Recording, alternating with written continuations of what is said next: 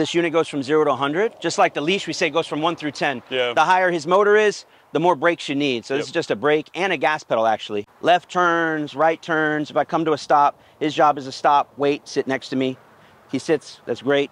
If I want him to heel, I like to touch his nose, release the parking brake. Okay, now we're heeling. When he's in a downstay, I don't like to walk over here and call him.